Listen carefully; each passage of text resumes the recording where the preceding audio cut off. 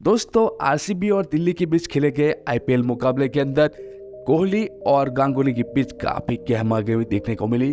दिल्ली और आरसीबी के बीच खेले गए इस मुकाबले में आरसीबी ने दिल्ली को हरा दिया, लेकिन इस मैच की चर्चा काफ़ी कम है। लेकिन यहाँ पर गांगुली और कोहली की जो यहाँ पर ड्रामा चल रहा है, उसकी चर्चा काफ़ी ज़्यादा हो रही है।